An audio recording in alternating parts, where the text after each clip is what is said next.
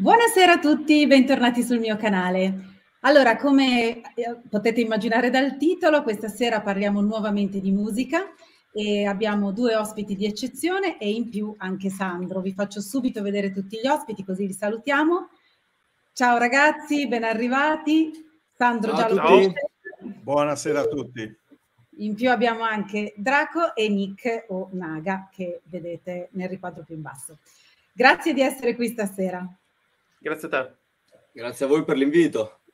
Allora, prima di iniziare a, a, parlare della vostra musica, dei vostri progetti che sono bellissimi e molto attuali per il momento che stiamo vivendo, vorrei fare un piccolissimo accenno a quello che sta capitando, visto che queste sono giornate caldissime per tutte le manifestazioni che ci sono. Eh, so che siamo tutti concordi e quindi so di parlare un po' anche per voi rispetto al supporto che vogliamo dare ai manifestanti portuali di Trieste e non solo, tutti gli altri porti.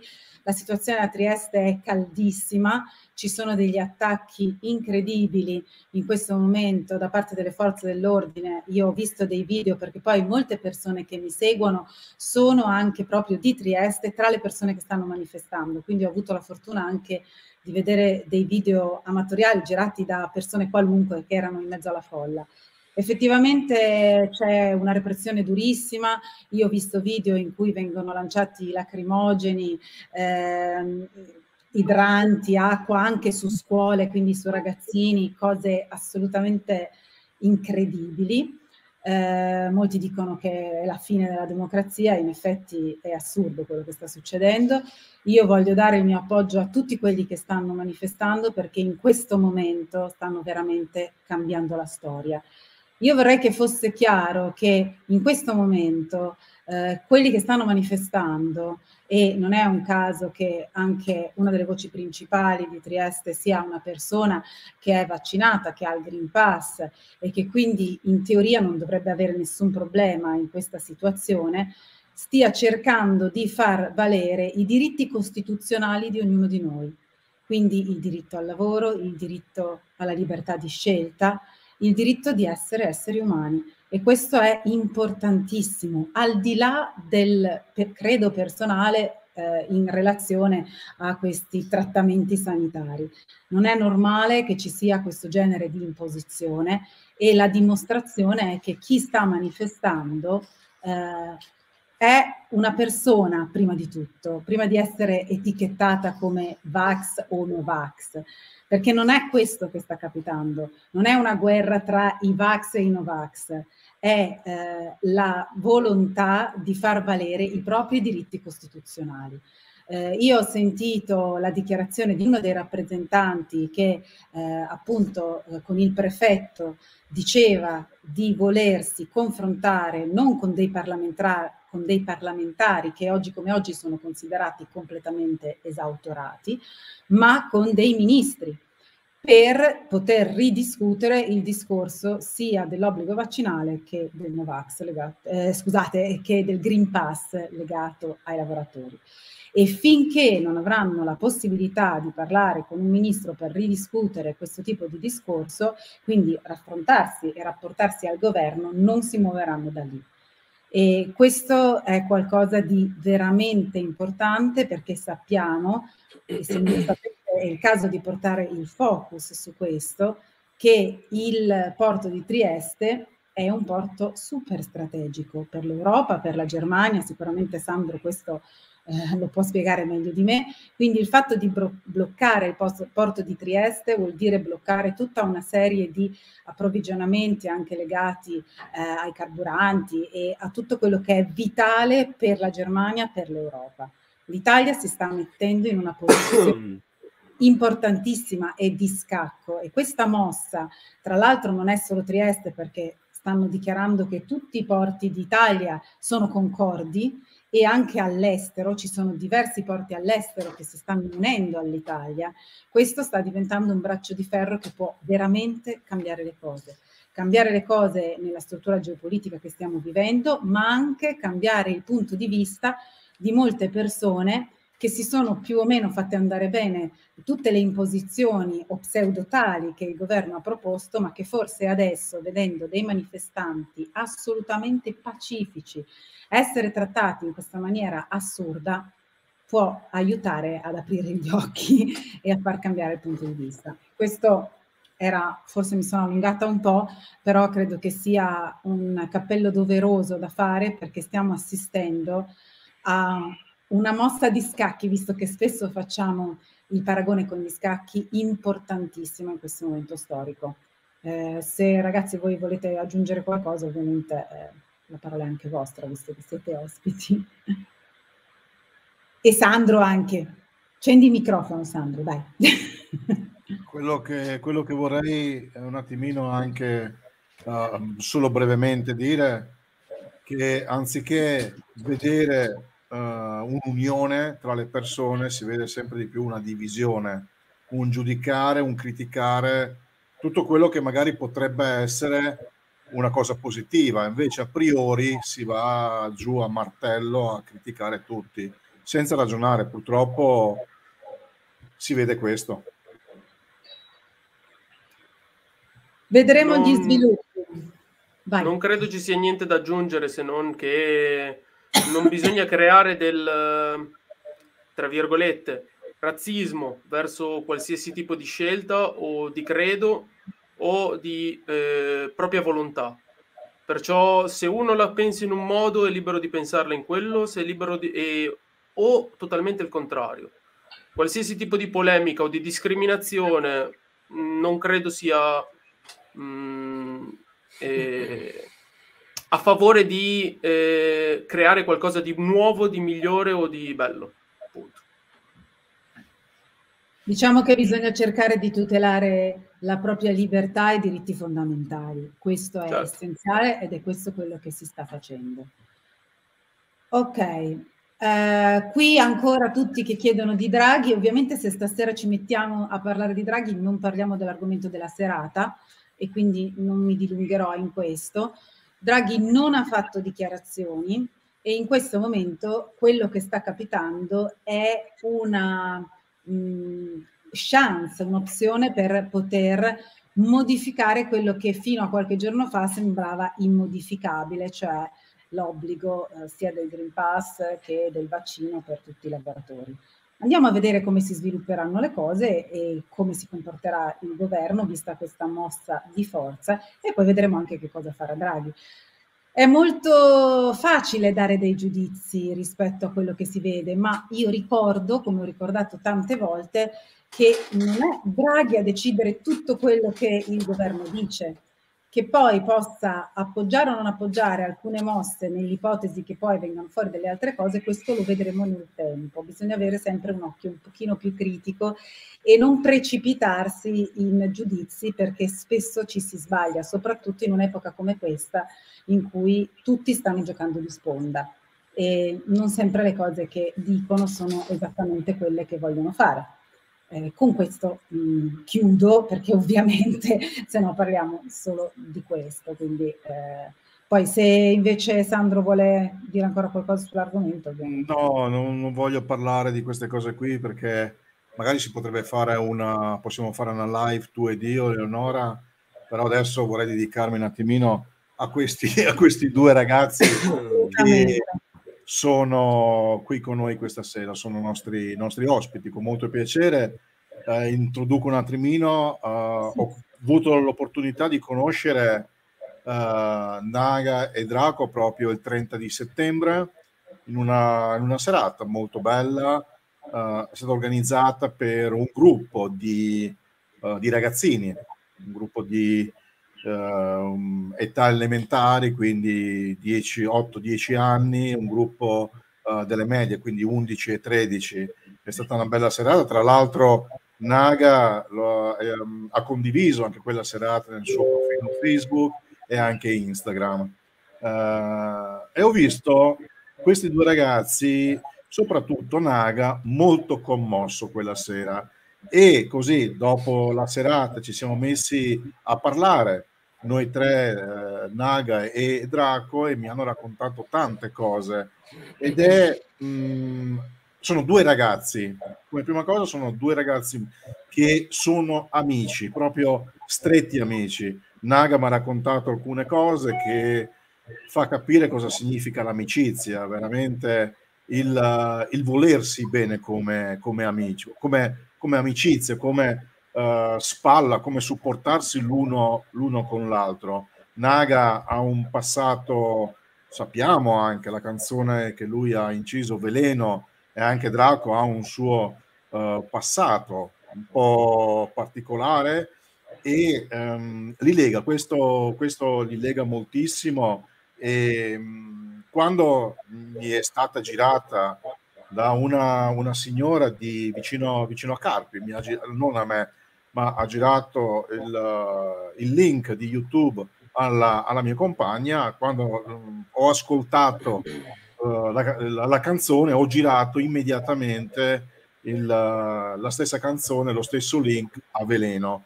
E dopo lì sappiamo insomma che abbiamo divulgato uh, questa canzone in praticamente tutti i canali e social che noi abbiamo a disposizione.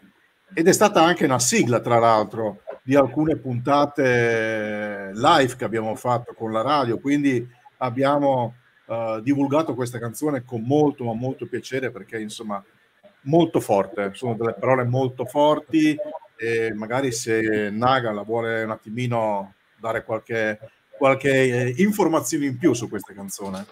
Sì, allora intanto volevo salutare tutti quanti come ho fatto anche prima, ma il fatto è che questa canzone che ho scritto è stata forse una delle canzoni più importanti che ho fatto, anche perché ho voluto dare modo, in primis a me stesso, eh, di poter raccontare apertamente a tutti quanti quello che ho passato io, in parte.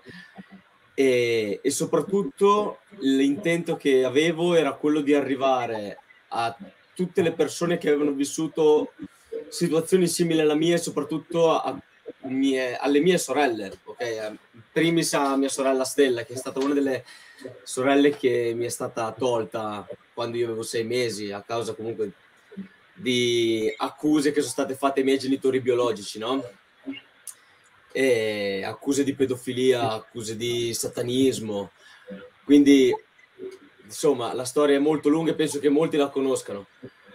E da quando siamo stati separati fino all'età di 19 anni, 20 anni, io non ho mai avuto notizie di nessuno.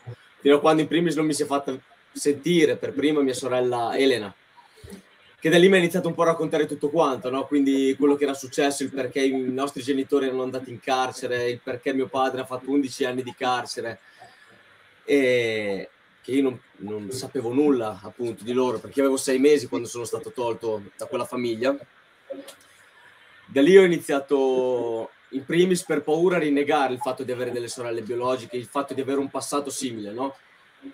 Fino a quando poi non mi sono fatto forza, non mi sono fatto il coraggio di voler ascoltare tutto quello che era la storia, tutto ciò che mia sorella aveva da raccontarmi. Da lì mi sono fatto a grandi linee un'idea di tutto quanto ed era talmente tanto grosso il carico, che, il carico emotivo che ti dava questa, questa notizia che ho deciso di di scrivere tutto quello che provavo su un foglio, che avrei voluto poi successivamente registrare. Però ci sono stati veramente tanti alti e bassi durante la scrittura di questo testo, perché comunque non è stato facile trovare le parole giuste per poter raccontare tutto quanto. E infatti mi sono trovato in situazioni in cui non sapevo più che cosa dire, non sapevo più che cosa raccontare, perché mi mancava appunto forse un piccolo pezzo, forse il pezzo finale di tutta questa storia che mi portava a scrivere appunto le ultime righe okay, del, del testo che, per concluderlo. Io mi ricordo che questa canzone qua è stata conclusa definitivamente eh, lo stesso giorno in cui io sono andato a Roma, nella sede della RAI, insieme a mio padre biologico Federico, che avevo, rintro- che avevo ritrovato dopo la bellezza di vent'anni, per appunto fare una, una delle tante interviste che abbiamo fatto insieme e durante l'attesa di ben nove ore all'interno dei salotti della RAI, lui mi ha iniziato a parlare un po' della, di quello che succedeva quando era in carcere, del fatto che guardava quelle tre stelle sempre lì in cielo, anche nei giorni più brutti, e lui si immaginava che quelle tre stelle erano i suoi figli ed è quello che l'ha portato ad andare avanti in quei dieci anni, no? Allora da lì mi si è accesa quella scintilla che mi ha fatto dire, cavolo, perché non posso concluderla in questo modo qua, appunto raccontando dell'ultimo pensiero che aveva prima di andare a dormire mio padre quando guardava fuori dalla finestra. E alla fine ho deciso di scrivere quelle tre righe finali che appunto dicono di eh, c'è chi dentro ad una cella vede un po' più in là eh, e che presto ritornerà comunque nella sua città, no? Nel senso, lui per 11 anni non ha più potuto vedere le strade della sua città, non ha più potuto vedere le persone che conosceva. Però quella stessa persona che era lì all'interno di quella cella ogni tanto guardava fuori e si immaginava quando un giorno mi avrebbe rincontrato. Hai capito? Quindi questo è quello che ho voluto raccontare all'interno della, della canzone. Eh, questa una... violenza, di, questa, di, di, questo torto che tra virgolette c'è, c'è stato fatto a me e alle mie sorelle, che in primis non hanno mai dato la possibilità a noi di poterci vedere, di poterci conoscere, ma soprattutto del sapere dell'esistenza l'uno dell'altro. Quindi questa, questa cosa qui non mi è mai andata giù, questa rabbia, perché io fino all'età di 19 anni non sapevo nemmeno di avere tre sorelle biologiche. Io mi ricordo che andavo a scuola quel pomeriggio lì perché facevo un rientro alle superiori quando mi è arrivato quel messaggio da quella persona, io mi ricordo che dopo non sapevo più, non riuscivo più a guidare, tremavo. Avevo, mi era venuto un attacco di panico allucinante e quel ragazzo che era con me era quel ragazzo che è qui appunto stasera come ospite. Lo ricordo bene. Io sono, io sono arrivato lì che ho fatto vedere le foto della ragazza che mi aveva scritto ai miei amici, io l'ho guardato e ho detto cavolo, ma questa ragazza sembra a me con i capelli lunghi, cioè mi sono visto io praticamente da donna è stato stranissimo, ti giuro, sembravo, sembravo io veramente versione donna e non riuscivo a controllare quell'emozione che avevo. Cioè, non ci volevo credere, ero incredulo su questa cosa qua. La gente che mi diceva, dai, non ci credere, che tanto non è lei. Poi invece c'era chi mi diceva, cavolo, ma siete uguali. Cioè, nella mia testa avevo una confusione tale che quel giorno lì al pomeriggio a scuola non ho concluso niente. Per due ore sono stato assente con la testa praticamente. Ero lì fisicamente, ma con la testa ero assente. Quindi questa cosa mi ha, mi ha scioccato parecchio per, eh, per un bel periodo. Fino a quando poi alla fine con l'uscita di questa canzone non sono riuscito a dare voce a quello che provavo e quindi automaticamente anche a liberarmi. A liberarmi di quel peso che mi sono portato dentro per troppo tempo. Quindi per questo per me la musica è un, quel mezzo importante per poter arrivare a più persone possibili in maniera molto diretta e senza filtri. Tutto qua. Eh, quella... Scusa, scusate un attimo, siccome ho visto questo messaggio, c'è Angela che ti dice che storia, un abbraccio Naga, sono una nonna, mi stai commuovendo e penso che siano tante le persone che sentono le tue parole risuonare all'interno perché eh, sono molto forti, si sente che tu hai vissuto una storia incredibile, che tra l'altro chi mi segue eh, ho raccontato, era la storia della Bassa Modenese sul mio canale, anche in concomitanza con il, la serie televisiva su Netflix Veleno, che tra l'altro è uscita, dove, vabbè, forse tu potrai dirci meglio quanto sia stata rielaborata e, e quanto possa essere fedele. Eh, diciamo che, guarda, ti dirò la verità, io eh, non avendo però mai conosciuto i personaggi che, eh, alcuni dei personaggi che erano all'interno della serie, io non li ho mai conosciuti di persona, non ho mai avuto la possibilità, perché comunque anche con il fattore Covid c'è stato il periodo in cui eravamo tutti in lockdown, tutti chiusi e quindi non potevamo muoverci. Però ti dico, io posso eh, dare un, una mia impressione su quello che comunque è stato eh, il montaggio per le parti in cui ha parlato mio padre e mia madre, no? E ti posso dire che veramente lì si sono messi a nudo, senza filtri, anche su quegli aspetti che in eh, vent'anni comunque di, di, dove si parlava di cronaca nei telegiornali non sono mai state dette e all'interno di quella serie tv lì ci sono andati a toccare dei punti e determinati dettagli che io in primis, durante le interviste, quando le sono andato a fare a Roma, comunque in giro, ho sempre cercato di evitare, per il semplice fatto che avrei toccato un tasto dolente per una persona che è a me molto cara, cioè mia sorella. Ma lì all'interno della serie mio padre si è veramente aperto in tutto e per tutto raccontando tutto quello che era successo a lei. E cose che prima di allora non era mai stata detta da nessuna parte, quindi quella è stata proprio una...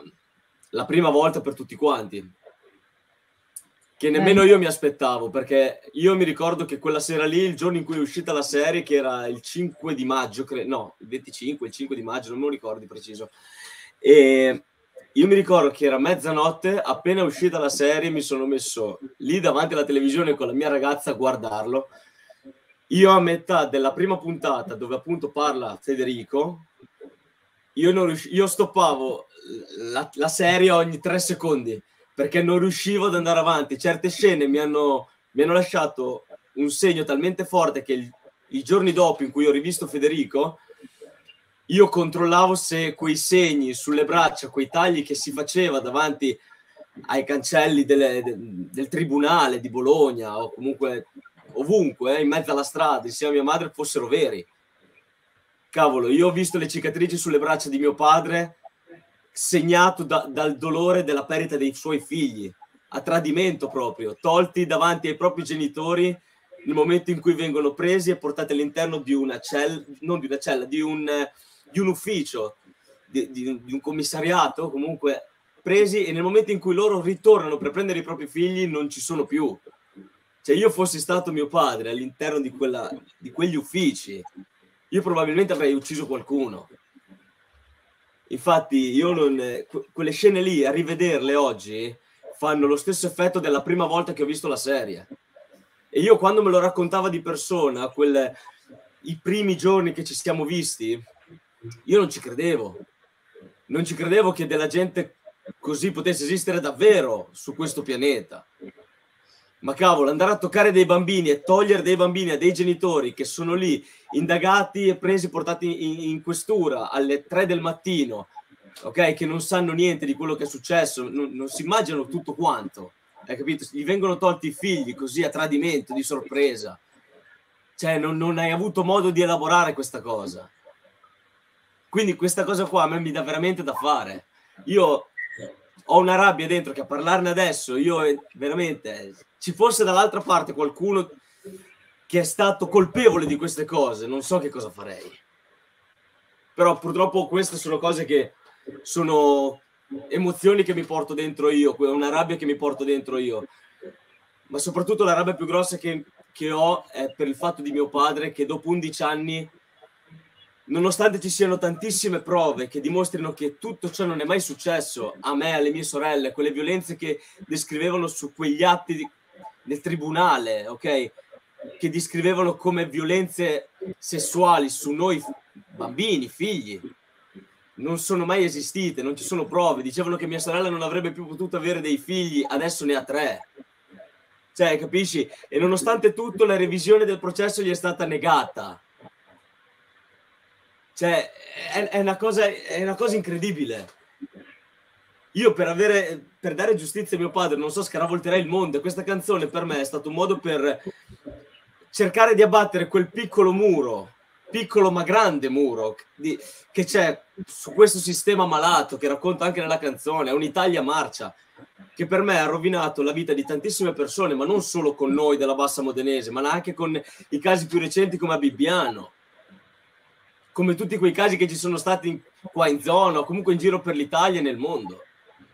Quindi a me pensare che della gente vada a mangiare su, cioè a mangiare sulla testa dei bambini, comunque su, sui bambini, a guadagnare dei soldi su dei bambini, a fare delle cose del genere, rubarli ai genitori con delle accuse stupide, veramente stupide. Cioè, per me non, non, non, non dovrebbero mai essere perdonate persone così. Se tu vai a rovinare delle vite, delle vite di persone che non c'entrano niente quindi per me adesso staremo a vedere se il processo andando in Cassazione questa cosa avrà un buon fine, un lieto fine oppure no.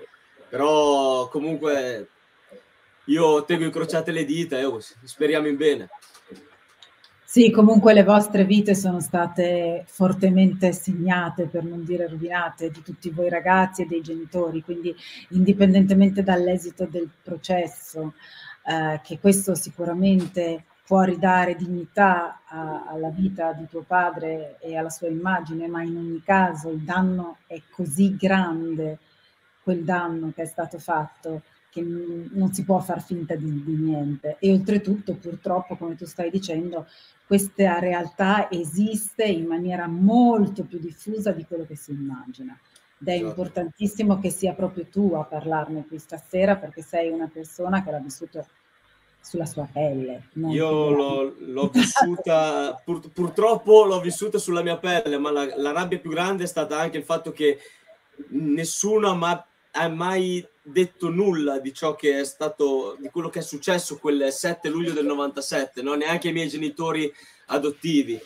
Questa cosa uh, purtroppo loro non ha dato modo di potermi raccontare le cose gradualmente durante comunque la mia crescita, no? fino comunque ai 18 anni, ai 20 anni, capito? Non ha mai dato modo a loro di potermi raccontare il perché sono arrivato lì, come sono arrivato lì, per quale motivo io, i miei genitori biologici non si sa dove sono, hai capito? Il perché, come mi sono sempre domandato quando ero piccolo, perché io ho gli occhi a mandorla rispetto agli altri bambini che mi prendevano in giro, hai capito? Io non sapevo nemmeno di che nazionalità fossi, che per metà sono italiano e per metà sono thailandese, io non sapevo niente, io finivo che facevo botte ogni 3x2 a scuola, perché la gente mi chiamava cinese quando io volevo essere semplicemente un ragazzino uguale agli altri. Certo. Ora, come, ora come ora il fatto di accettare che ho gli occhi a mandorle, la gente mi abbia sempre chiamato cinese, cinese, cinese, cosa che anche il caro Draco faceva per scherzare, ma comunque lo faceva. Io molte volte all'inizio volevo prendere la testate, però sono buono e visto che è un mio grandissimo amico ho sempre evitato, ma gliela, gliel'avrei data a volte. Ora come ora ci, ci scherzo su, ci rido su, però il fatto che non abbiano mai detto niente a nessuno ha dato modo anche a me di vivere fino ai 19 anni, fin quando non ho conosciuto mia sorella Elena, col punto di domanda su da dove vengo io. Io l'ho scoperto a 19 anni che io ero thailandese per metà e per metà italiano. Mi dicevano che ero peruviano, che ero brasiliano, che ero cileno. Eh, non so, dicevo dove ci sono trovati se uno è italiano, nelle favelas in Brasile, non lo so, hai capito? Cioè mi facevo mille, mille domande. Cioè dicevo come hanno fatto a trovarsi lì in viaggio, che ne so. Magari sono venuto fuori così dal nulla, un'avventura, non lo so. Questo era quello che mi domandavo io. Però alla fine, all'età di 19 anni, dopo che ho scoperto tutto quanto, io ho iniziato ad accettarmi per come sono. Il fatto di dire che ora sono thailandese per metà, io ne vado fiero, anzi, l'ho reso un mio punto di forza.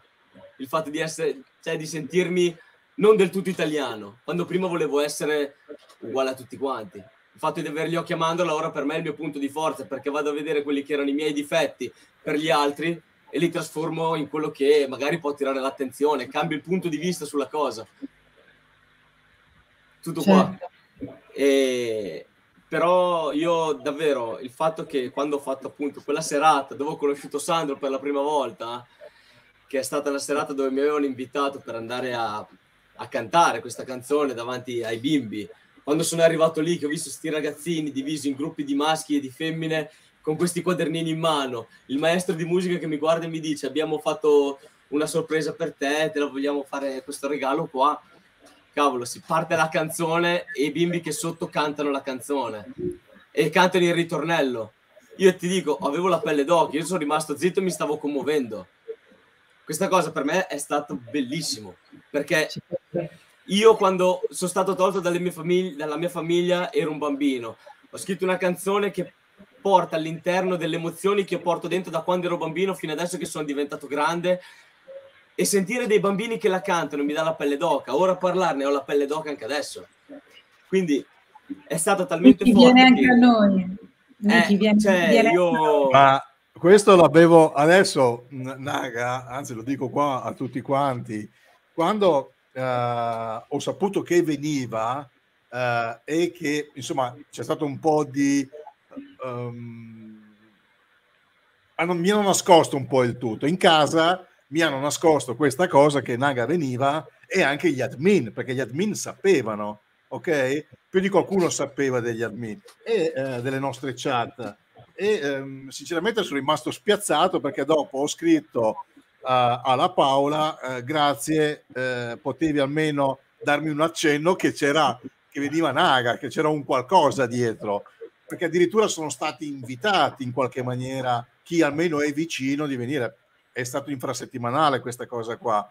E dopo um, Naga lo, non l'ha pubblicato il video perché avevo fatto una registrazione video col telefono e c'era Naga praticamente molto, ma molto emozionato. Cioè, aveva, uh, beh, posso dire, un po' le lacrimucce agli occhi. Sì, eh, sì, sì, no, ce le avevo, ma dato che non mi voglio far vedere piangere, perché sono, sono così, io purtroppo... Così, cioè non mi vede piangere neanche mia madre, io piango pi- piuttosto scappo di casa, piango e torno. Cioè, ho cercato di tenere lì hai capito? Però sì, sì. sono stato talmente emozionato che è una cosa incredibile, indescrivibile. E infatti tu, eh, anche nel video che tu hai pubblicato su Facebook e su Instagram, sul tuo, sui tuoi account, eh, tu eri praticamente a ridosso dei ragazzini, no? Eh, che c'è anche, si vede il disegno che ti hanno fatto, cioè quella, quella cosa che tu tra l'altro hai appeso in, in camera tua o nello studio, in studio, adesso. In studio. studio. io adesso sono in studio, ce l'ho di fianco, sì, sì. E eh, io ero con Drago che stavamo parlando, no? Praticamente ha raccontato che tu eri mesi che eri uh, insomma effervescente, sì. carico per questa cosa qui, no? Era e, eh, proprio ne parlavi spesso di questa cosa che ti hanno chiesto e poi tra l'altro questa cosa qui eh, questa uh, come posso dire questa Uh, questa iniziativa è stata fatta dalla Carmela, la mia compagna, tra l'altro. Sì. No? Se, sì. ecco, e, e, e quando ti ha scritto e ti ha uh, contattato, insomma, ti ha un po' uh, sorpresa questa cosa qui e si vede. Infatti, sì, molto. Con un Draco, no? a un certo punto, Draco mi fa: non, non, non riuscivo più a tenerlo, a tenerlo fermo perché sì, sì eri, eri, euforico su questa cosa qui. Sì, perché mi, mi, metteva sotto pressione il fatto di dover parlare o relazionarmi comunque con dei ragazzini o dei bambini. Nel senso, viene molto più semplice parlare tra, tra persone un po' più della stessa età, hai capito? Piuttosto che con i bambini. Dici, cavolo, sì, come, li te- come, li tengo? Cioè, se tu mi metti a me in mezzo a, a un asilo o comunque a una scuola elementare, io non so, piuttosto mi faccio prendere a calci, davvero scappo, non lo so no, no, non saprei come comportarmi. Cioè, se inizia a piangere uno, cosa... ah, vado nei matti, poi mi inizia a fare mille paranoie. Io non ci capisco più niente, giuro. Perché per me, eh, già con i miei nipoti, io non so, cioè, i miei nipoti, vabbè, eh, quando piangono li prendi, li, li metti a giocare da un'altra parte, ok, ma quando sono i figli di qualcun altro è molto più difficile. Hai capito? Non io ti ascoltano che... come potrebbero ascoltare uno zio. Però tu hai un grandissimo strumento che è quello della musica, con il quale sei in grado di coinvolgerli, di comunicare, di entrare in relazione con loro, che per te è forse la tua maggiore forma espressiva, visto che è quella che hai scelto per dar voce a tutta questa esperienza enorme che hai avuto. Che tra l'altro eh, per noi, adesso lo dico a chi ci segue, questa è una serata molto particolare perché oggi è un giorno particolare. Oggi è il compleanno di Fabrizio, quel nostro amico avvocato che molti di voi hanno conosciuto sul nostro canale, sui nostri canali, anche su YouTube, sul mio, che si è sempre occupato di lottare contro la pedofilia e per aiutare e proteggere i bambini. Quindi assolutamente eh, all'interno di questo discorso e credo sia questo il motivo per cui vedo che sta per entrare anche Veleno, che faccio entrare. Ciao Veleno. Eccomi qua. Credo no. che questo argomento abbia coinvolto anche te, ovviamente. Hai, Veleno, scusa, hai la voce emozionata?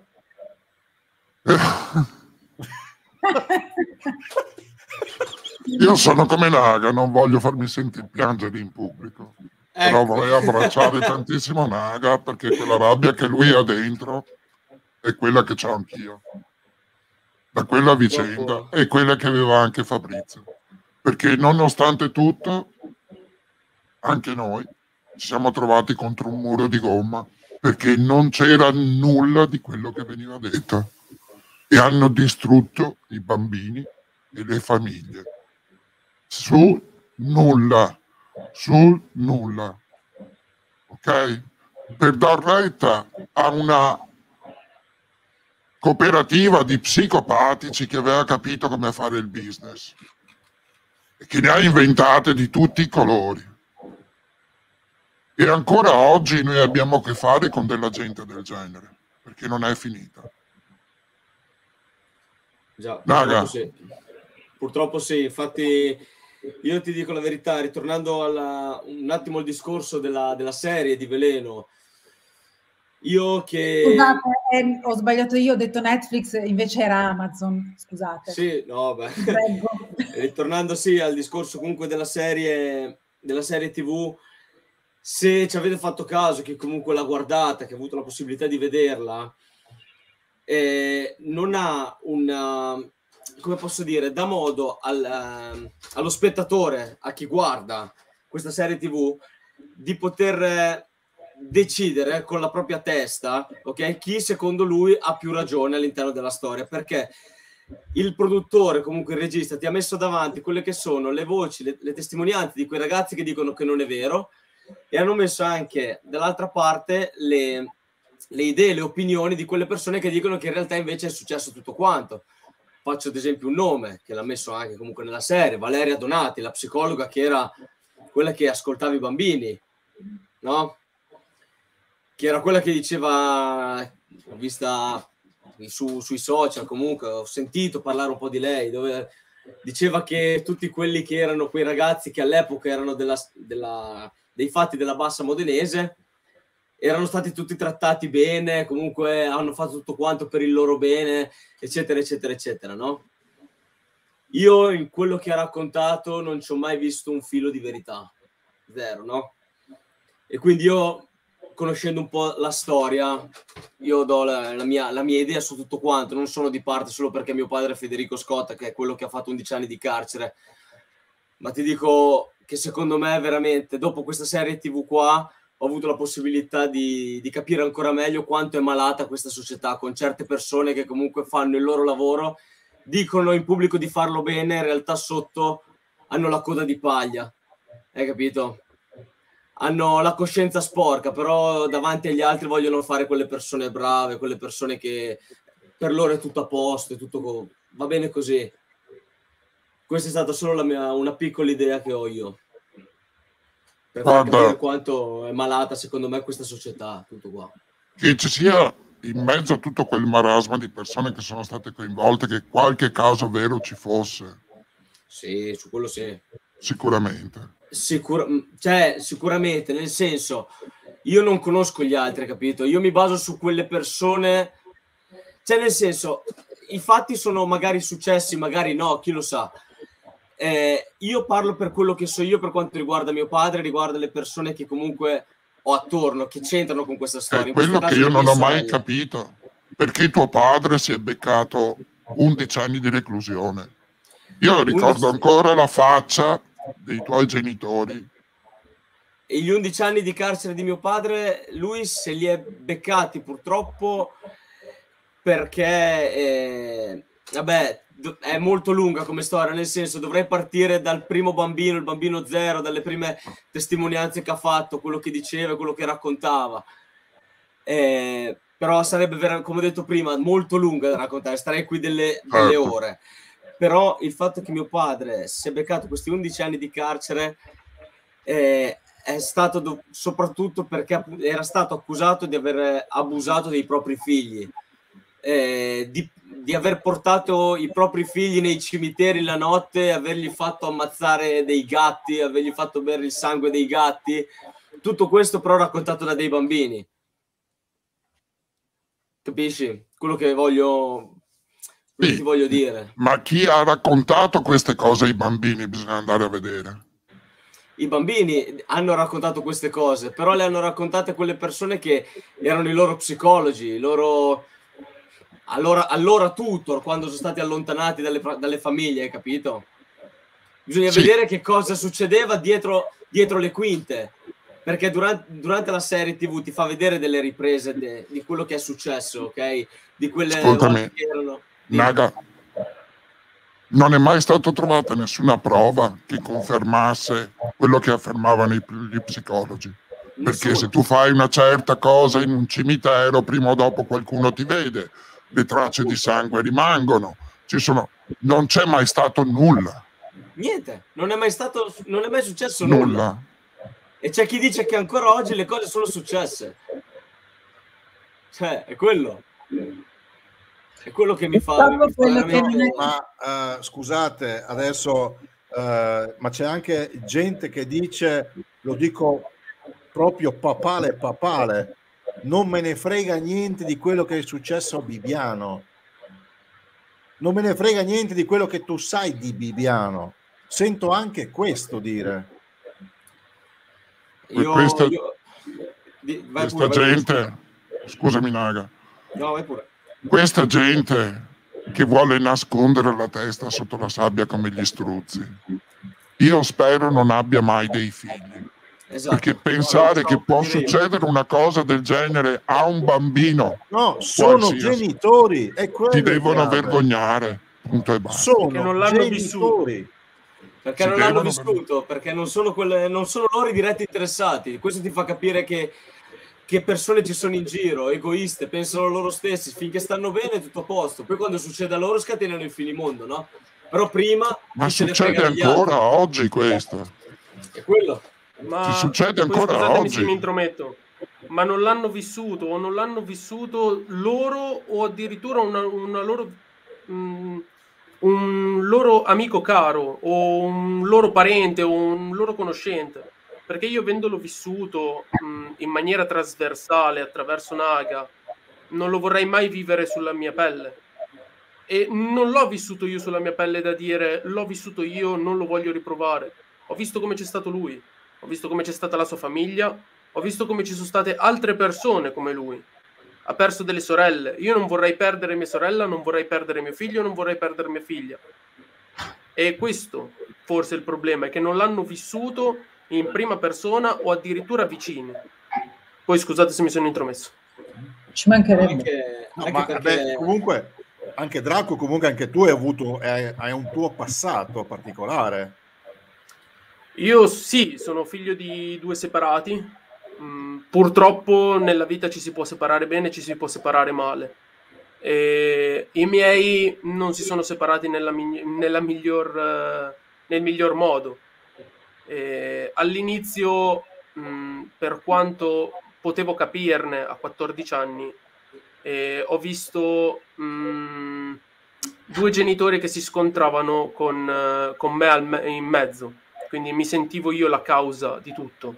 Mm-hmm. E, ehm, purtroppo mio padre ha sempre fatto leva su quello, sulla mia fragilità e sul fatto che io potessi essere effettivamente il problema, che mh, tutto girasse intorno ai soldi e girasse intorno al fatto che io dovevo eh, farmi rispettare, quando era lui il primo ad usarmi.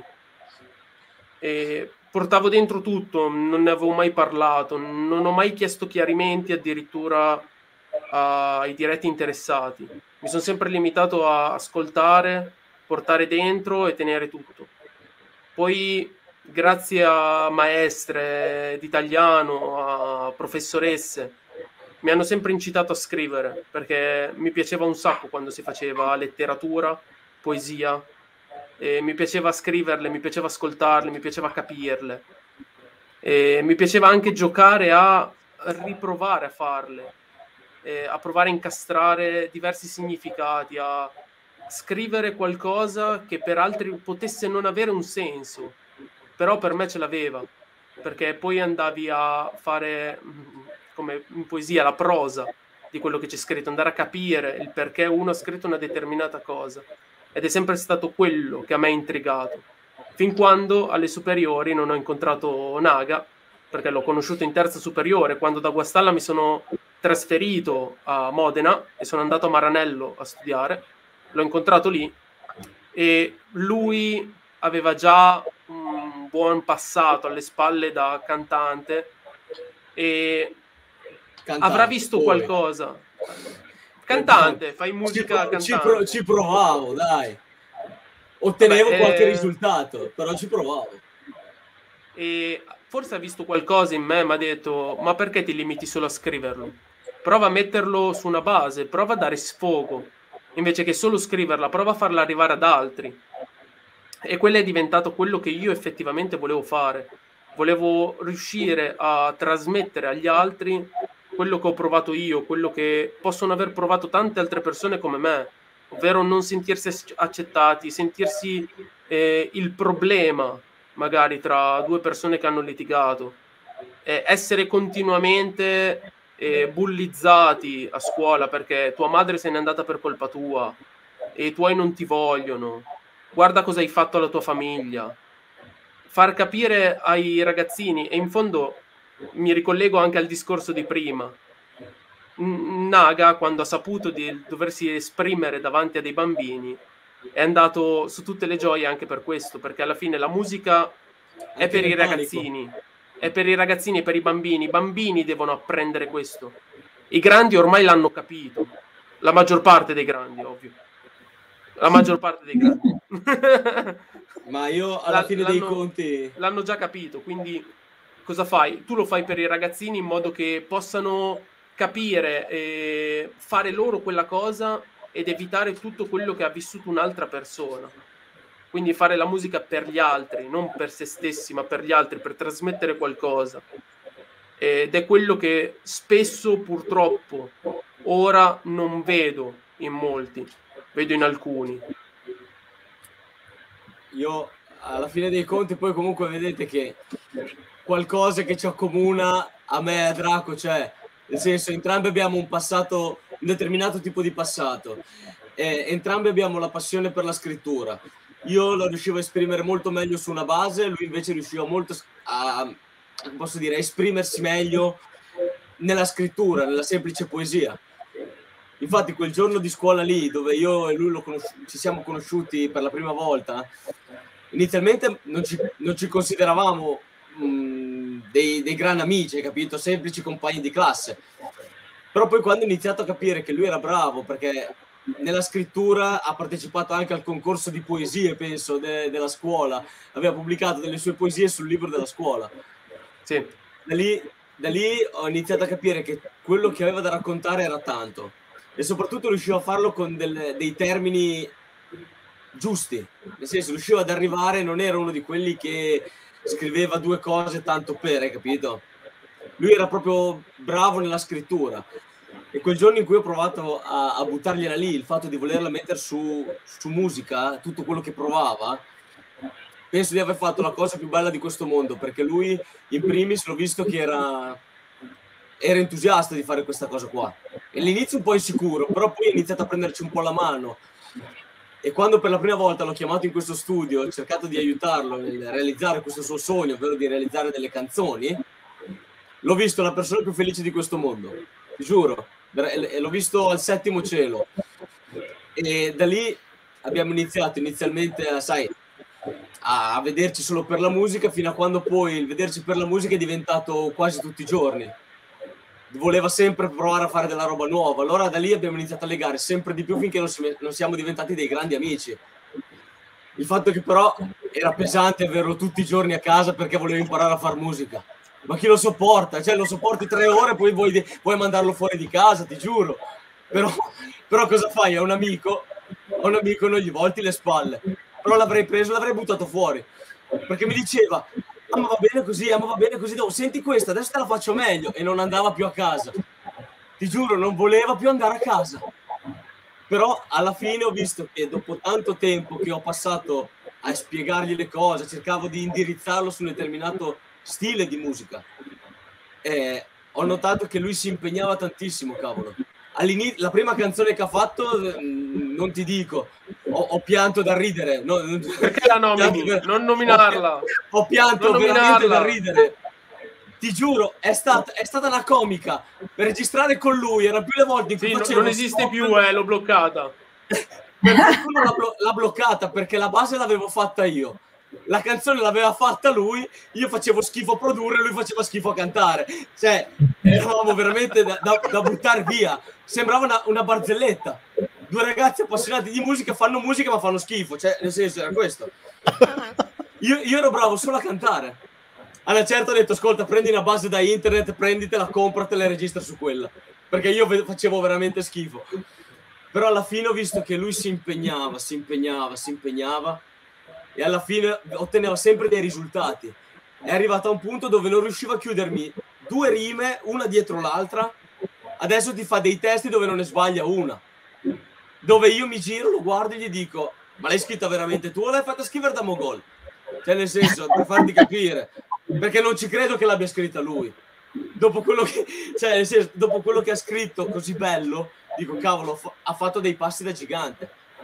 Quindi questa cosa ci ha portato ad essere sempre insieme, a condividere la passione per la musica, a creare un legame talmente forte che per qualsiasi problema se lo chiamo lui corre da me, io faccio uguale, che ti posso dire, lui l'ho conosciuto in terza, in terza superiore, amici che conosco da quando avevo sei anni non farebbero mai le stesse cose che lui farebbe per me. E quindi io ti dico che quando mi dicevano i veri amici li conti su un palmo di una mano, io quella mano adesso è diventata un dito. Io solo da un dito riesco a capire chi ho come vero amico. Se no ce ne saranno tre, come ti ho detto la prima volta che ci siamo visti, Sandro. Te l'ho detto, per me gli amici sono veramente pochi. Lui è, è uno vero. di quelli. Lui è uno di quelli. Io ne ho, ne ho tre di amici e basta. Gli altri, io avrei preso un pugno per quelli che erano i miei amici che consideravo tali. Loro per me non avrebbero fatto neanche un, una, una una cavolata, non avrebbero fatto niente. Invece per me Samu lui fare veramente di tutto, l'ho, l'ho notato dalle piccole cose, dai piccoli momenti di difficoltà che io ho avuto, come ti ho poi raccontato, de, discorso di, di brutti, brutti, vizi, eh, dipendenze sì. purtroppo, dove io ho dovuto combattere per un po' di tempo, un bel po' di tempo. Samu Draco, in questo caso, è stata la prima persona che ha avuto il coraggio di venire da me in certe situazioni e riuscirmi a fermare. Cioè, una di quelle situazioni in cui tu prenderesti chiunque davanti a te, lo riempiresti di botte e lo lasceresti lì mezzo vivo e mezzo morto, non sai come è messo. Però un cartone te l'ha tirato. Un cartone me l'ha tirato, ma in una sera... Sì, un cartone gliel'ho tirato. Se... un, cartone, un cartone me l'ha tirato ah, aspetta, una sera. Scusa, scusa Naga, aspetta. Eh. aspetta. Però tutte le volte che io lo bloccavo in studio come per dire aspetta senti questo va bene questo ok però tutte le volte che stavo io ad ascoltarlo non le racconta ma tutte le sedute sta... dello psicologo sì. con cui lo Vabbè, faccio ma... parlare perché non mi è piaciuto dire no. Cioè, no, che non mi è mai piaciuto dire tu questo non lo devi fare. Lui è sempre, sempre stato uno di quelli visto comunque anche altri ambiti. Sempre ascoltare, cercare di far capire tutto qua. Quindi sì, mi fermavo lui... anche una o due ore per questo. Infatti lui, quella volta che appunto mi ha tirato quel famoso cartone, che poi è successo quella volta lì e poi più perché sennò gliene tornano indietro 5, non più uno, 5 gliene tornano indietro. Con tutto il bene che voglio sto ragazzo, però basta perché mi ha piegato in due quella volta. Mi ha veramente, mi ha veramente fatto capire che a volte questo tipo di violenza su un amico a cui tieni, a volte fa bene. A, vo- a volte un pugno in più ti fa aprire gli occhi e ti fa capire se quella persona che hai davanti può essere realmente considerata amico e non un semplice conoscente che ti guarda fare la strada, prende la strada sbagliata, però ti lascia lì. Non cerca di correggerti, o se prova a correggerti, dice dai, basta, non lo fare, ti fa male, cosa che mi dice anche mia madre. Anche solo se fumo una sigaretta, mia madre mi dice dai, basta, fa male, però mai ha perso le speranze. Lui non ha mai perso le speranze neanche nel momento più difficile. Lui è sempre rimasto lì e mi ha sempre tenuto testa. Ha rischiato la vita a volte, lo ammetto, però è sempre adesso è ancora vivo, sta bene, guarda che bello che è. Cioè, nel senso, nel senso vuol dire, vuol dire che eh, non mi sono mai ribellato. Quindi per fortuna, per fortuna che esistono i veri amici, quando si trovano e quando si trovano penso che bisogna tenerseli veramente stretti perché trovare un vero amico io... oggi ora come ora è difficile e io aver trovato Samu ringrazio veramente Dio che mi ha dato una mano a trovare lui in un momento difficile come ho passato, avere una, una, spalla su cui poter piangere ogni tanto, anche se non mi vedeva, perché come ho detto non mi faccio vedere piangere, era solo per modo di dire. lui, lui c'era, lui era sempre lì, sempre. Quindi lo ringrazierò sempre. Io nonostante, nonostante abbia visto questa parte di lui, nonostante abbia potuto eh, rischiare il tutto, l'avrei rifatto. L'avrei rifatto tutte le volte perché sapevo che quello poteva essere una, un punto di svolta per lui. Vedere Hai qualcuno coraggio, che rischiava per lui, qualche, un po' di coraggio per lui, per dire smettila, io ti posso vedere in un modo migliore, guardati anche tu in questo modo. Secondo me gli ha fatto cambiare il suo punto di vista e l'ha fatto ragionare sul fatto di posso farlo, se lui vede che io ce la faccio, posso farcela, come lui ha fatto con me. Perché io le prime volte facevo veramente schifo a fare musica. Io non andavo a tempo, non riuscivo a mettere a tempo il mio testo, non sapevo neanche cosa fossero barre, perché ho sempre scritto poesie. Lui ha visto qualcosa in me che io non vedevo e io ci ho creduto in lui. E lui in quel momento ha saputo, eh, ha capito che io vedevo in lui qualcosa che lui non riusciva a vedere come lui riusciva a vedere qualcosa in me. E credo sì, sia stato stato quello il grosso punto di svolta. È stato il fatto di aver trovato dopo tanto tempo qualcuno che mi, mi desse fiducia, hai capito? Nel senso mi dava la possibilità di dimostrare qualcosa, di dimostrare quanto, quanto ero in grado di dare. Lui è riuscito a darmi questa possibilità e io ho sempre cercato di, di non deluderlo. Poi ovviamente i passi falsi si possono commettere, però l'importante è riuscire ad ammetterli e andare avanti e cercare di, di migliorare dove si è caduti. Eh, e lui ha avuto tanta pazienza nel rimanere lì anche in quei momenti, nonostante fosse stato un po' difficile come cosa. Però è sempre rimasto lì, davvero. Quindi il fatto di, di, di, aiutarlo anche con la musica penso che sia stata la cosa più bella di questo mondo. Però lui ha avuto molta più fortuna di me, molta più fortuna. Anzi, a volte ti dico la verità, sono invidioso per il semplice fatto che io mi sono dovuto formare da solo, creare da solo, farmi il mazzo così da solo.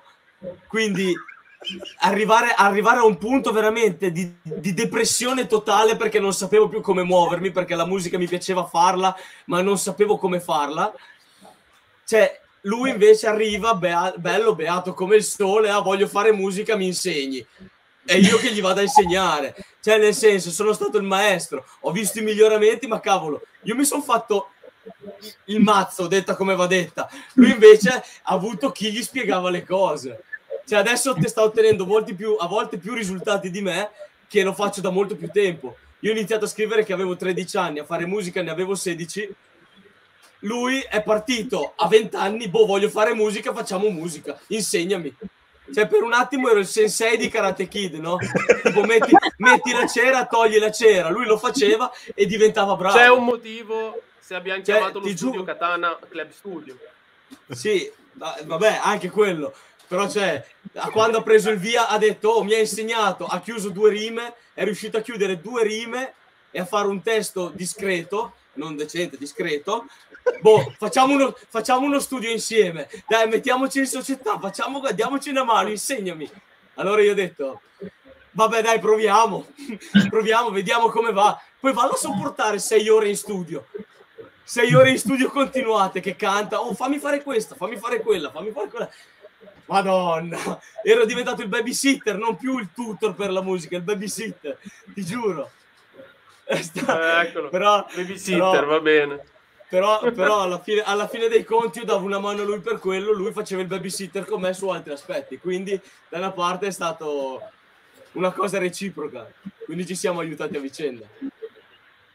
Questa, questa è una bellissima cosa mi ci vuoi raccontare quella cosa che ti è venuto con, da fare con i ragazzi o che vi è venuta?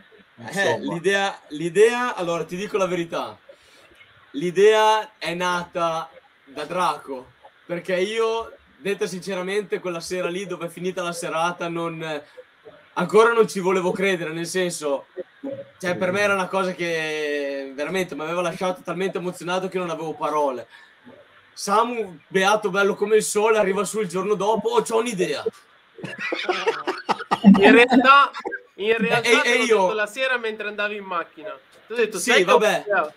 Ma fa, sai che ho un'idea? E io, boh, che idea ti è venuta? Mi fa, ma perché non facciamo magari che possiamo provare a chiedere se si organizza un incontro con i ragazzi per insegnargli un po' il come nasce una canzone, come si scrive una canzone e soprattutto con l'idea di voler eh, dare la possibilità ai ragazzi più piccoli, ai ragazzi più giovani, tramite questo appunto il metodo appunto della musica, questa, questa cosa qua, di voler scrivere almeno quello che provano, no? Dar modo loro di poter mettere su carta quelle che sono le loro emozioni, perché sappiamo tutti quanti quanto in quel momento, in certi momenti della, della tua crescita, comunque adolescenziali, no? Si passano quei momenti difficili, quei momenti dove sai, c'è il primo amore, eh, ti lascia la ragazza, vai a litigare con un amico e la mamma ti dice su perché hai fumato una canna, e il papà ti dice su perché torni a casa che sei ubriaco e il giorno dopo, il giorno dopo sei depresso, non ci capisci niente, ti fa la ramanzina e tu dici sì, sì, ho capito, in realtà non hai capito niente. Dici che palle, statemi su di dosso, no? E dici, ma perché? Scusa, in questo modo non puoi far scrivere delle canzoni a quei ragazzi che un giorno diventerà, passeranno questo tipo di avventure e raccontano il loro punto di vista. Perché una, una sbronza vista da me ha, ha un certo senso un certo, un certo, modo di viverla. Vista da Samu ne ha un'altra vista da magari da Sandro ne ha un'altra cioè capito? Ognuno può raccontare la sua ma non solo per quello ovviamente nel senso questo è per ridere ma dietro c'è anche il senso di voler dar modo a quei ragazzi che molte volte tu chi hai davanti non li conosci, no? fondamentalmente non sai niente della loro vita privata. E ci sono quei ragazzi che già appunto all'età dei 13-14 anni stanno vivendo all'interno di casa loro delle situazioni difficili, come ha vissuto magari Samu, la separazione dei genitori, della confusione in testa che non sai più dove andare a mettere le mani, perché andresti a fare più casino che altro, i giudizi delle persone se tu hai un modo per sfogarti o far arrivare magari a diretti interessati le tue parole, i tuoi pensieri tramite la musica, è la cosa più bella di questo mondo. Perché in primis ti posso assicurare che la musica è quasi come uno psicologo per me. È come un po' scrivere un diario. Però sai che dall'altra parte tu hai un foglio che è pronto ad ascoltarti, no? È un po' come, sì, quello psicologo che ti ascolta ma senza mai dire niente. Esatto, e per me... Tipo, tipo diario dei segreti è un diario dei segreti che per questi ragazzini sarebbe secondo me veramente una cosa molto importante poter esprimere i loro sentimenti, le loro emozioni tramite la musica. Perché come ha aiutato me in determinate situazioni, ha aiutato Samu ad esprimersi in determinate situazioni, può farlo anche con loro. Evitando magari che queste persone possano arrivare, che ne so, a, ad avere delle crisi, delle vere e proprie crisi, attacchi di panico a volte che ci possono stare per a non essere Dio. capiti. A non essere capiti perché fondamentalmente tu stai dando voce a te stesso hai capito? Stai parlando con te stesso quindi è anche un viaggio introspettivo perché tu vai a scavare dentro di te tutto quello che sono le tue emozioni. Ma non devi avere filtri nella scrittura deve essere una cosa che tu quello che pensi quello che provi lo scrivi. Perché se tu te lo tieni dentro e lo vuoi mettere giù con termini molto curati molto precisi è come mettere un preservativo sulla penna, cioè nel senso, hai capito? È come mettersi un preservativo in, in testa e poi iniziare a parlare, non fai uscire un, un bel niente. Cioè, mi sto trattenendo, scusate, ma mi devo, tra- mi devo trattenere, ma è come mettere un preservativo su una penna. Quindi tu stai filtrando tutto quello che provi e la musica non deve avere filtri. Se tu sei arrabbiato, detto come va detto in maniera tranquilla, di che sei arrabbiato. Se ce l'hai con qualcuno, non fare nomi, altrimenti poi ti denunciano, ma cavolo, fai capire. Se uno, se uno ti, ti ascolta e sa che quella canzone è dedicata a lui, che è un mongolo, detta come va detta, senza offesa, però cavolo, almeno gli arriva e capisce. Poi se c'è la coda di paglia si arrabbia, però se non si arrabbia vuol dire allora che è stupido. Però, nel senso, arrivi, arrivi a quelle persone Cioè, vuoi arrivare a una determinata no, cosa, la musica, la musica è l'unico mezzo. Cioè, poi lo fai in maniera anche divertente con gli amici. Poi partono le, le, le, sfide di freestyle con le battute ignoranti dove ci si offende tra amici, ci si offende la sorella e la mamma. In cui non ne chiude neanche una. In cui non ne chiude una, però ci si oh, mette bene. a ridere. È bellissimo, è bellissimo. Quindi dare modo a questi ragazzi di imparare un po' che cosa c'è dietro una canzone, per me è fondamentale perché magari un giorno poi quando si trovano a scegliere l'indirizzo della scuola superiore invece che scegliere un liceo classico scelgono magari il liceo musicale uno dei tanti magari indirizzi che ci sono adesso. Un liceo artistico addirittura. Un liceo artistico. Senza scendere sulla musica. Se non vuoi fare la forma d'arte come la musica, c'hai i dipinti, l'arte, il disegno, hai capito? Oppure la danza, è un altro, una, un'altra arte, un altro modo di esprimere la propria arte. Cioè, ci sono tanti modi. Però il, quello che vogliamo fare noi è dare una mano a questi ragazzi a esprimersi e a non tenersi le cose dentro perché tenersi le cose dentro, prima o poi, come per i bambini, anche per i grandi, arrivi a un punto dove implodi, cioè esplodi dentro proprio, o inizi a piangere dal nulla, o inizi ad essere arrogante con qualcuno che non c'entra niente perché hai delle cose arretrate che ti sei tenuto dentro, delle cose che ti mangiano. Ma se riesci a buttarle fuori o comunque a parlare, a dialogare con qualcuno, è una cosa che veramente ti aiuta. Ti aiuta in tante situazioni, che può essere il bullismo nelle scuole, ti può aiutare in quelle situazioni in cui sono le tue prime esperienze a parlare con i tuoi genitori, quindi ad aprirti e raccontarti a loro, ad avere un dialogo con le persone più grandi di te che possono capirti. Cioè, è utile in tutti gli aspetti. Quindi per noi fare questa cosa sarebbe la cosa più bella e soprattutto realizzare anche una canzone dove all'interno di questa mi sarebbe piaciuto includere un coro fatto da questi bambini perché hanno cantato una volta e con l'aiuto del maestro di canto potrebbero cantare la seconda volta però stavolta in una cosa ufficiale che rimane e che tutti potrebbero ascoltare. Sai, sai a, cioè, per un bambino secondo me entrare a, fa, a far parte di un progetto musicale cavolo li fa sentire gasati. Dici, cavolo, sono comparso all'interno del singolo di questo ragazzo qua, che magari non sono nessuno, però magari quelle quattro persone che mi ascoltano sentono anche la voce di questi altri bambini. Quindi li fa sentire importanti su questo aspetto. Secondo me deve essere bellissimo. Deve essere davvero bello ed, ed emozionante anche per i bambini e per i genitori soprattutto poi si, troveranno, si vedranno mamme che piangono, papà che piangono perché i loro figli cantano, eh, che bello. Poi diventano tutti maestri di musica, no? Sai che, sai che figata, sarebbe bellissimo. Io, io trovo che sia una bellissima idea, ma che soprattutto sia bello vedere come una persona che ha avuto il, la tua storia alle spalle, che penso sia per chiunque qualcosa di veramente difficile da affrontare, e nonostante tutto questo tu abbia trovato, prima di tutto nell'arte e nella musica, una forma espressiva, ma anche eh, una grandissima umanità traspare da te, una grande gioia, una grande voglia di condividere, di coinvolgere i bambini, di, di dare agli altri. E si può dire che tu sei uno di quelli a cui è stato più tolto che dato, perlomeno nella tua storia. E penso sì. che nella mia storia mi è, stato do- mi è stato tolto subito, però mi è stata data per fortuna dopo una grandissima famiglia alle spalle che mi ha cresciuto. Quindi io da una parte ho perso, ma dall'altra ho guadagnato una famiglia con delle sorelle, dei genitori che io veramente morirei per loro. Io se ho deciso di fare un cambiamento nella mia vita è dovuto anche a loro che sono stati lì e mi hanno sopportato in tanti aspetti, in, tante, in tanti lati del mio carattere, che purtroppo ho avuto. Tutto qua. Beh, diciamo che comunque tu sei una persona che è in grado di guardare il lato positivo della realtà e di lavorare perché questo possa crescere, evolvere senza focalizzarsi invece sulle problematiche che indubbiamente hai avuto. E questo credo sia un grandissimo insegnamento oggi per tutti quelli che ci ascoltano, perché ognuno vive un momento storico complicato per eh, le ragioni che tutti conosciamo, però c'è chi si focalizza solo su questo e c'è invece chi riesce a spostare il focus. e acquista molta più forza, molta più energia e capacità anche di creare nuove realtà. Tu sei la prova fisica e eh. che questo è possibile.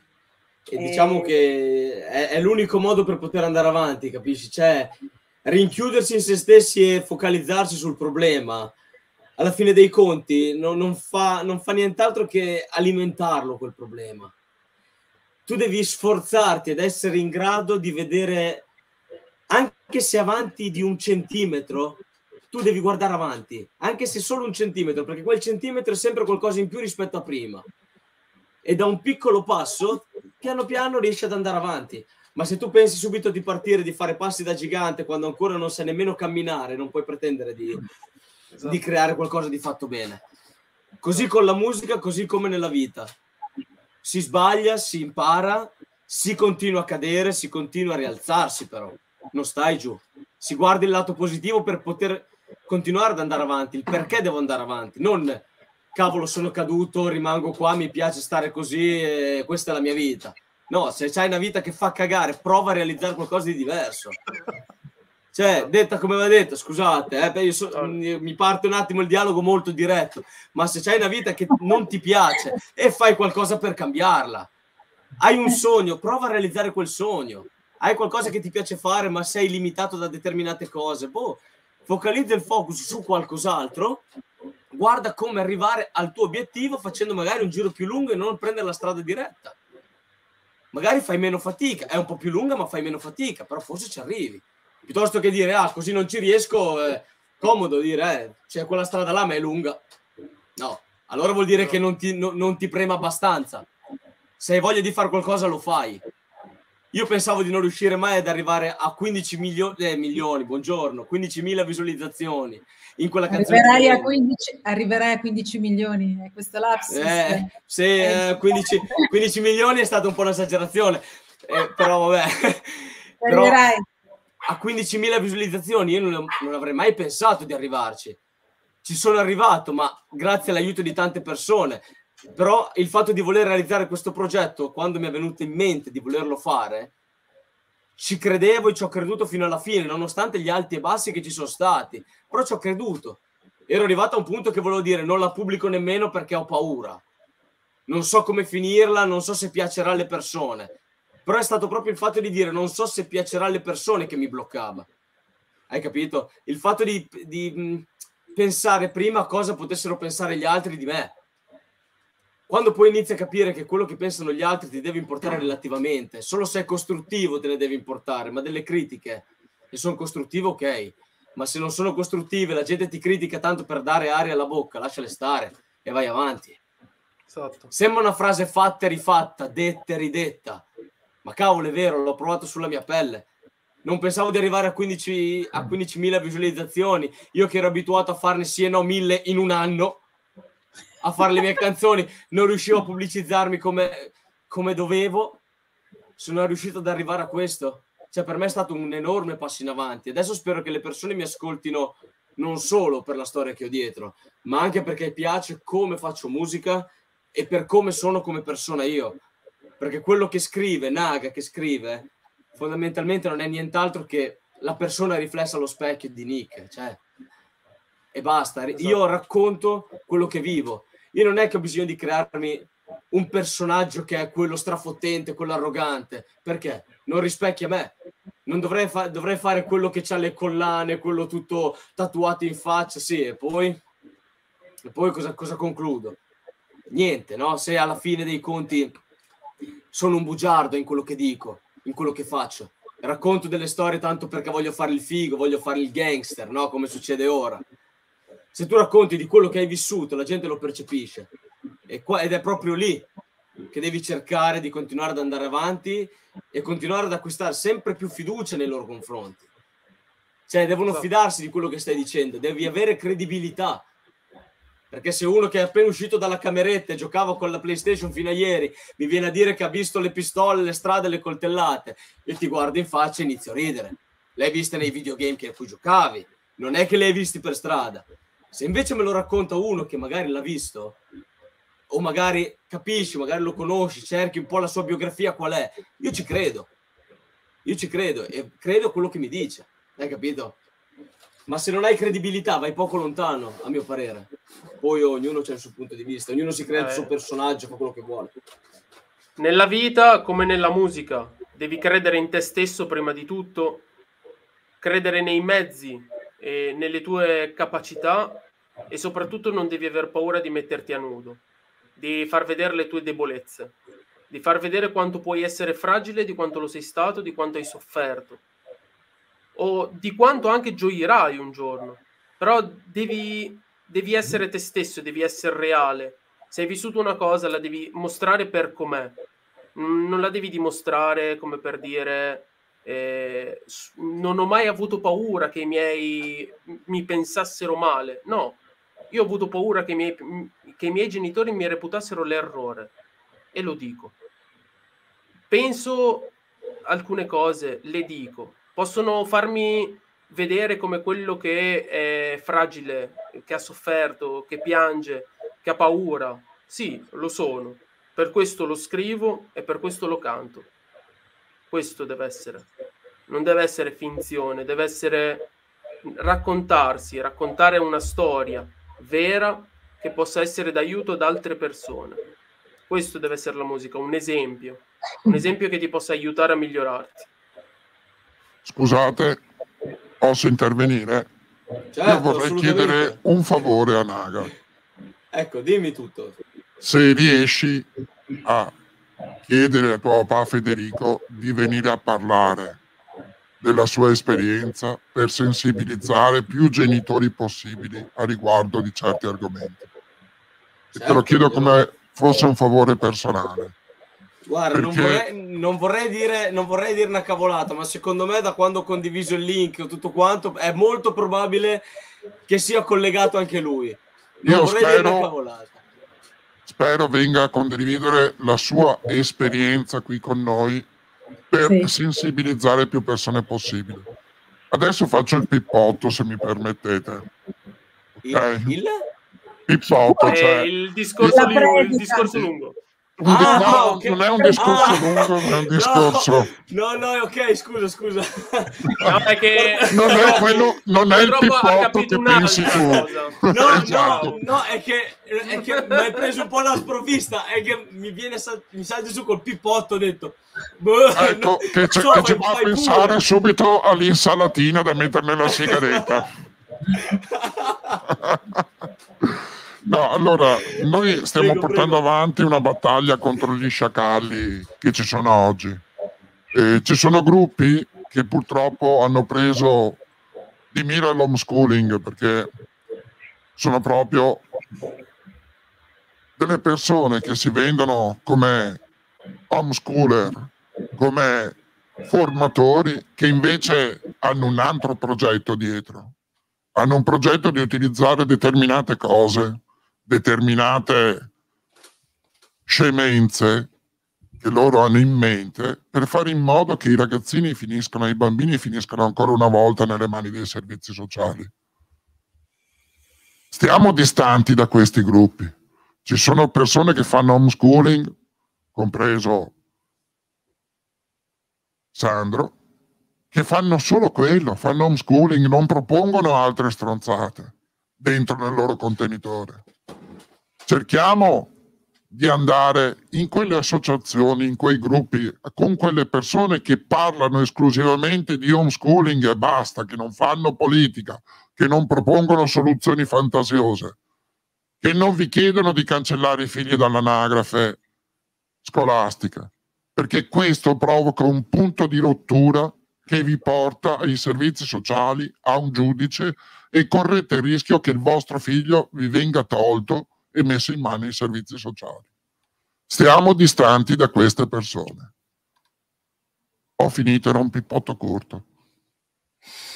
Micro pippotto. Beh, eh, io posso aggiungere solo una cosa che um, Naga, Draco e anche la ragazza di Naga quella sera, il 30 settembre, erano lì presenti eh, hanno visto proprio il gruppo dell'associazione, hanno visto i genitori, li hanno conosciuti, hanno praticamente fatto diciamo la cena, il dopo cena insieme hanno visto i ragazzi chi sono i bambini, quali sono gli insegnanti, quali sono, perché c'era, uh, c'erano due barra forse tre insegnanti presenti che eh, si sono messi a disposizione proprio per uh, questa associazione che è un'associazione mh, mm, molto semplice, non profit, è stata creata per uh, uh, le esigenze di genitori, esigenze anche degli insegnanti, esigenze anche per quanto riguarda i bambini e i ragazzi. Quindi è una cosa mm, molto, molto bella che è stata costruita. Adesso anche, insomma, Naga e Draco l'hanno conosciuta e penso che sia una cosa più che, più che bella, almeno io questa percezione della nostra associazione. No, no, era, era molto, cioè, strutturata molto bene, c'era un bellissimo ambiente, anche vedere bambini di diverse età riuscire a ehm, coesistere. Spesso i bambini vengono divisi per classi e spesso le classi non vanno mai molto d'accordo perché dicono tu sei indietro rispetto a me, tu sei, mh, mm, tu sei meno, tu sei una classe indietro, tu sei più piccolo. Eh, o addirittura i bambini piccoli che guardano quelli grandi e dicono non vedo l'ora di arrivare ad essere quello. Erano tutti insieme, ognuno dava una mano all'altro. Magari c'era un bambino che non riusciva a tagliare il panino per metterci dentro l'affettato e c'era quello più grande che lo aiutava. Sono bellissime scene che non si vedono tutti i giorni e che ne vengano, cioè che ne, ve- che ne vengano altre di queste associazioni fatte in questo modo e con questo spirito.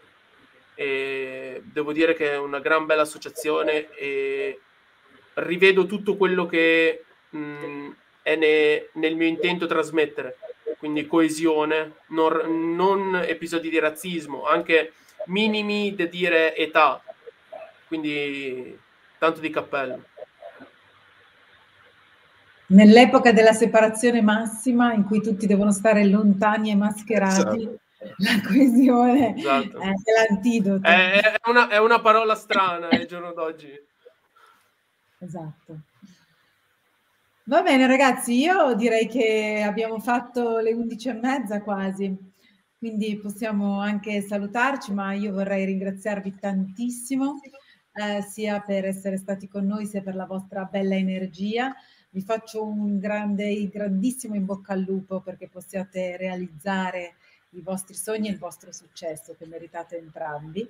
Invito tutti nei link in descrizione ad andare a sentire i brani vostri e a seguirvi sui vari social, profili, eccetera, eccetera, e comunque di seguire discoverit.cloud dove continueremo insieme ad altri artisti italiani a promuovervi, perché poi nel vostro caso siamo anche legati eh, a voi da una sorta di amicizia, quindi ovviamente ci teniamo particolarmente, ma in realtà teniamo a tutti quelli che hanno qualcosa da dire, da esprimere e che non vogliono sottostare ai giochi di potere eh, e politici che ci sono anche nel mondo dell'arte, perché l'arte è tutt'altro che un'area libera di espressione, anzi, di solito chi diventa famoso si è asservito al potere e questo è una brutta verità che noi cerchiamo a nostro modo di combattere. Io Dio con vi... il permesso degli autori manderei in coda il loro brano Veleno. Sì. Se gli va fantastico. bene. Certo, certo. Ok. Leonora, allora, scusami. Vai, eh, io chiedo a tutti di chiudere i microfoni tranne te, così almeno non facciamo interferenza sul brano. E intanto saluto tutti. grazie a tutti, grazie Naga, grazie, grazie Draco, grazie Sandro, grazie Eleonora grazie. e grazie a tutti grazie quelli ancora. che ci hanno ascoltato.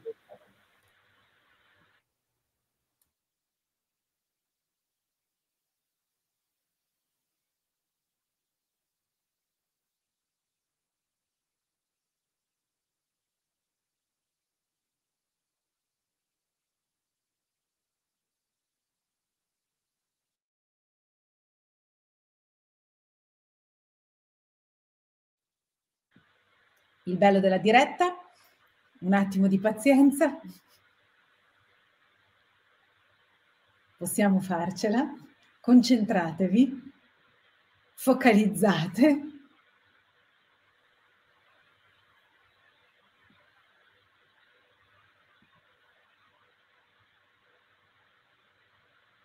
È probabilmente più difficile del previsto.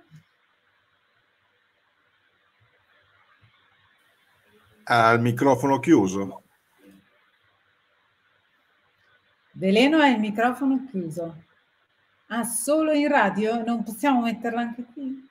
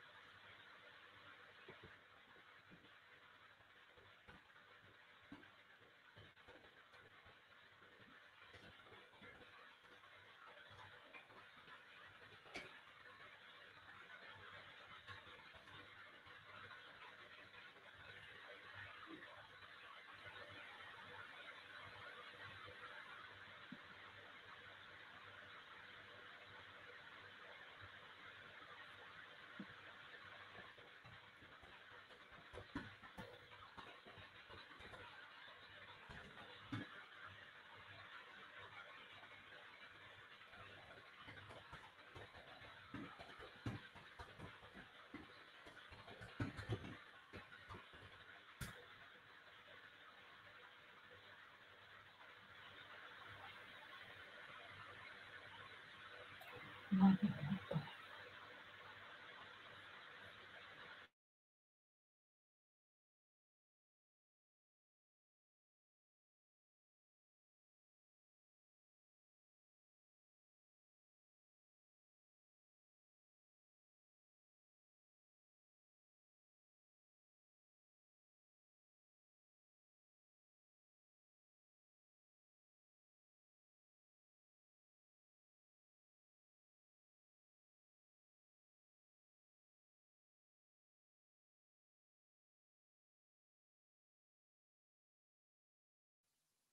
Eccomi qua. Hai spento la diretta YouTube?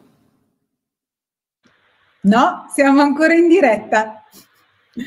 A questo punto ci scusiamo per non essere riusciti a mandare il pezzo anche in YouTube. Io pensavo che si potesse fare entrambi, quindi chiedo scusa. Vi invito ad andarlo a sentire in radio prossimamente o insomma nei link in descrizione scusate ancora, non era preparata, è stata un'improvvisata e non sempre le, imprevi- le improvvisate riescono col buco. Buonanotte a tutti e grazie. Buonanotte a tutti. Buonanotte. Notte.